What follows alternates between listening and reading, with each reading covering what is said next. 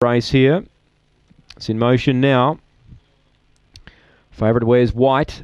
They're ready away. Zeke Bale near last to begin, and El Serena won the start. It led clearly. Lunar Luna's chasing now. So she gets within a length and a half, and railing hard Norse Bale goes under all of them. Further back to Mega Bound, making ground Zeke Bale, then Young Blood. Well back in the field, Tate's Ransom and Cracker Jack Glen, but Norse Bale took the run and raced away. Zeke Bale followed it through, but Norse Bale wins from Zeke Bale. Third, Lunar Luna. Fourth might be Mega Bound from El Serena in a photo finish. Then Tate's Ransom. Uh, well back, Young Young Blood and Crackerjack Glen was towards the rear. The time we just await for. Norse Bale. Yeah, probably over the odds here, this dog.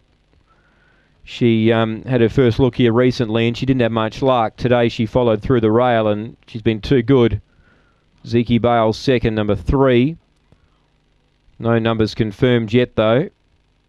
Should be two from three. Now, third placing will be one Lunar Luna who down the back looks some hope, but uh, it's filled in another placing there for Lunar Luna. How many placings is that now for her? It's uh, 14 placings from her 30th race start. So she's around the mark, isn't she? Norse Bale, the winner. Start number six, win number one. Three second, Zeke Bale.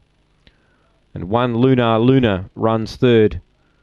22.80 the run. 10.26 early, 12.54 the run home.